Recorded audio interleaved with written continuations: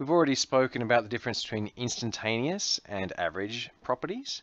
And so if we look at a very small piece of time, of time delta t, then a particle moves a distance delta x, and our instantaneous velocity is going to be just that delta x over delta t.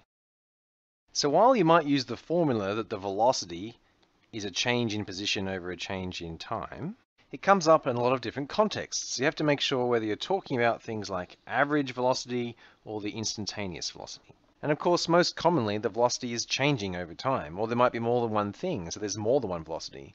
So whenever you're dealing with a real problem, make sure that you draw a diagram and make sure that you write the particular symbols you're talking about and you're very clear and use words to describe what you're talking about when you talk about these symbols.